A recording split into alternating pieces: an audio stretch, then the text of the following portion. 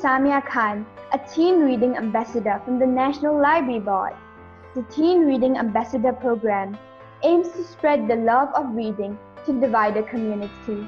And so, we are very honored to be interviewing the shortlisted authors and illustrators for the fifth edition of the Hedwig Anuar Children's Book Award presented as part of the Asian Festival of Children's Content Digital Symposium.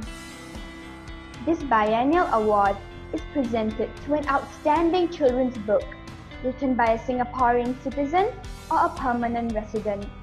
Today, we are sitting down with the author and illustrator of Panjang, the tall boy who became Prime Minister, Mr. Peh Shing Huei and Mr. Andrew Tan, to find out more about their book and creative process. Thank you so much for joining us, Mr. Peh and Mr. Tan, and congratulations on your shortlist. I read your book and really loved the message of accepting ourselves despite our differences. Could you tell us a little more about the book and yourselves as the creator of this book? Mr. Tan, you could start first. Oh, okay. About myself, uh, I'm a freelance illustrator and uh, I do stuff for advertising agencies and picture books like Sherlock Sam.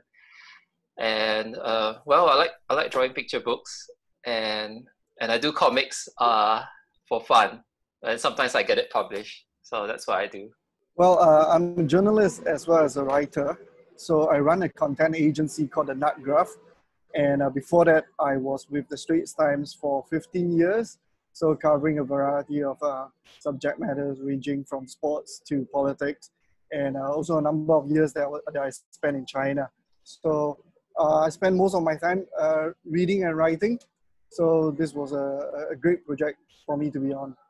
That is really interesting to know. Second question, why did you decide to create this book? Mr. Peh, you can start first. Well, I wrote the biography of um, our Singapore former Prime Minister, Mr. Goh Chok Tong. It's called Tall Order.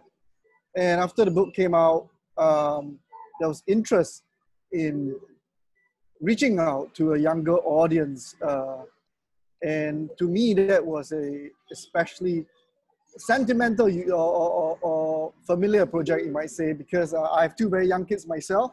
So uh, they were very interested to know about the content of Tall Order, but clearly uh, they're preschool kids, so clearly Tall Order is a little bit uh, too tall of an order for them. So the idea of capturing Mr. Goh's story, but for a much younger audience, uh, uh an audience of uh, between uh, five to nine years old, that was something that appealed to me, and I thought, hey, that, that might be something worthwhile doing. Well, for me, it's like when I was invited, I thought it was a good opportunity because I kind of seeing Mr. Goh on TV and, and, as a prime minister as part of my childhood. it's like I can't can't give up the opportunity, and also seeing that I could actually work with uh, Mr. Peh here. I mean, he's he did very well in the Panjang book. And I thought, wow, it's like a good opportunity, and I, and also as like working uh working on the book, I get I mean you get the opportunity to meet Mr. Goh himself. So I thought that, that that's, that's so cool. So so yeah, so I took it up. Um, yeah. Oh yeah. Also because I like also because I like picture books, and I thought um, yeah, it's yeah, it's a good opportunity basically.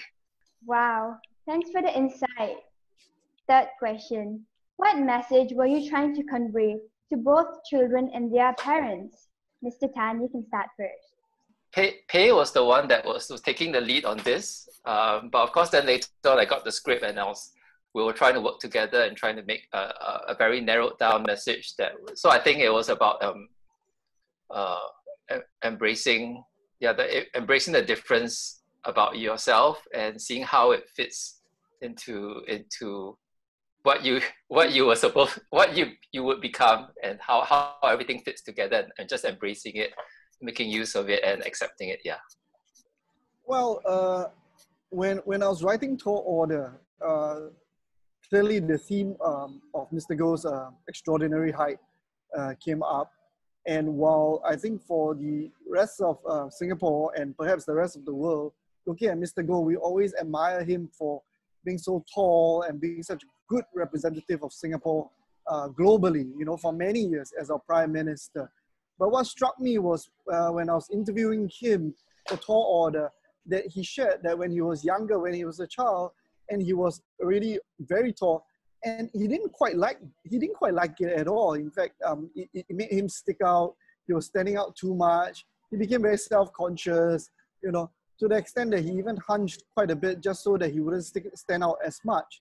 And I thought that was a wonderful uh, uh, little story of him that many people did not know. And to be able to share that with um, young children and their parents, that um, despite you, you might be different, but really is, is, is okay. Embrace yourself, celebrate who you are, be proud of who you are, and everything everything will be fine after that. That is really thought provoking. Fourth question. What was your creative process like? Has it changed over time? Uh, well, as a, as a journalist, my creative process in, in, in the past was uh, incredibly intense. Pretty much the, the moment uh, that I've uh, received an assignment, I have to get started almost immediately because of how tight deadlines uh, were and still are in the newsroom. But now, uh, writing books, picture books, and, and, and, a, and a book itself, like, like Tall Order, I'm, I'm given a lot more time to, to think through my concept, to think through uh, how I would like to present a story. So in, in, terms of my creative process, definitely I would say I have the, I have the greater luxury of time today uh, compared to um, the, the earlier part of my life as as a journalist.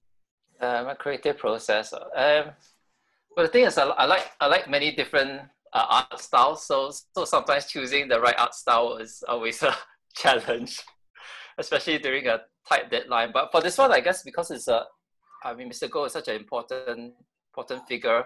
There's a tendency to be very self-conscious and be, be very worried about getting the pictures just right.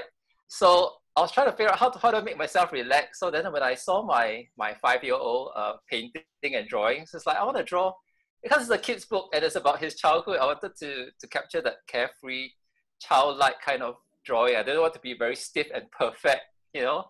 So so what I did was uh, I just used the same paper as, as my five-year-old. Used this this IKEA roll of paper that you get. Uh, so I got it. Then I just used a um, gouache and color pencils, and I just did cut out. So I show you. Uh, I show you here.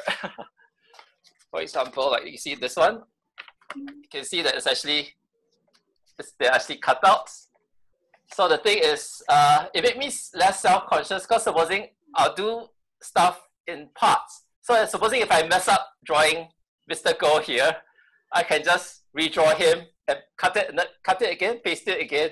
I don't have to redraw everything. So it, it reduces the stress. And surprisingly, it was actually a lot quicker and a lot more fun. Okay, see this one? You can see that they're all, they're all cut out. And uh, it was kind of experimental and free and yeah a lot less stressful. And i only had 20 days to finish everything because tight deadline and somehow it made it fun and i could finish it faster than if i tried to make everything perfect. Yeah. Oh i see. Question five how is it like to work together and what challenges did you both face? I, I enjoyed the process a lot. Uh, we did not work uh, together physically but we worked together very closely, exchanging our ideas all the time over uh, phone calls, uh, WhatsApp messages, and whatnot. And uh, it, it, was just a great opportunity for me to work with Andrew because I've seen his work before and I really wanted to partner with him on this.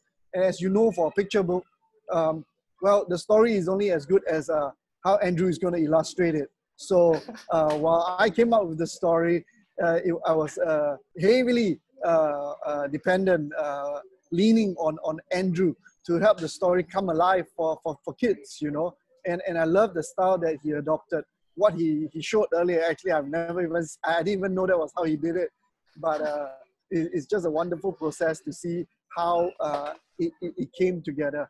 And I, I would say that uh, Andrew is an incredibly active partner in this, even with the story. So after I wrote the first draft, I'll check in with him. He would tell me, uh, uh, in, in, his view, what worked, what did not work. You know, uh, this part, like maybe you, you, you can truncate this, expand a little bit more on that. So it was lovely to hear uh, how the story ought to be told from the point of view of the illustrator. Because uh, for me, I think in terms of words, I can be uh, pretty straightforward in that manner.